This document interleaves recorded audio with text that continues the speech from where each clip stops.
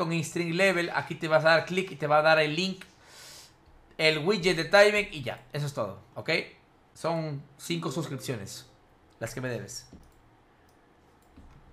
Pero para el límite de 7 días, ya pe, multiplica. 7 días por 24, ¿cuánto es? Agarra 24 por 7. 7 y 4 son 32, son 28. 8 sube 2.